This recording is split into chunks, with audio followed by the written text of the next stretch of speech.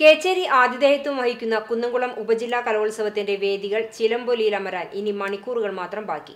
കലോത്സവത്തിന്റെ highlight ഇനങ്ങളായ നൃത്ത മത്സരങ്ങളോടെ ബുധനാഴ്ച മുതൽ വേദികൾ സജീവമാകും. പ്രധാന വേദിയായ അൽ അമീൻ ഹയർ സെക്കൻഡറി സ്കൂളിൽ രാവിലെ ഒമ്പതിന് ഉപജില്ലാ വിദ്യാഭ്യാസ ഓഫീസർ എ മൊയ്തീൻ പതാക ഉയർത്തുന്നതോടെ നൂപുരധ്വനികളാൽ വേദികൾ ഉണരും. അൽ അമീൻ സ്കൂൾ ഗ്രൗണ്ടിൽ സജ്ജമാക്കിയ രണ്ടാമത്തെ വേദിയിൽ T N Prathapan M P കലോത്സവത്തിന് തിരിതെളിയിക്കും.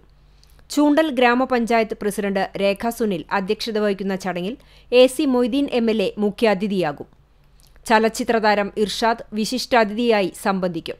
ഉദ്ഘാടന ചടങ്ങിനു ശേഷം നാടോടി നൃത്തം സംഘനൃത്തം എന്നിവയാണ് ബുധനാഴ്ച അരങ്ങേറുക. സംഘഗാനം മോണോ ആക്ട് മാപ്പിളപ്പാട്ട് പ്രഭാഷണം പ്രസംഗം ചമ്പു പ്രഭാഷണം പാഠകം പദ്യോച്ചാരണം അഷ്ടപതി എന്നീ മത്സരങ്ങളും രണ്ടാം ദിനത്തിൽ വിവിധ വേദികളിലായി നടക്കും. അറബി സാഹിത്യോത്സവത്തിന്റെ ഭാഗമായുള്ള കഥ പറയൽ അറബി ഗാനം സംഭാഷണം സംഘഗാനം എന്നീ മത്സരങ്ങളും ബുധനാഴ്ച അരങ്ങേറും. കുട്ടിത്താരങ്ങളുടെ സർഗശേഷിയും മാസ്മരികതയും കൊണ്ട് വേദികളിലെ കലാവതരണങ്ങൾ അവിസ്മരണീയമാകും.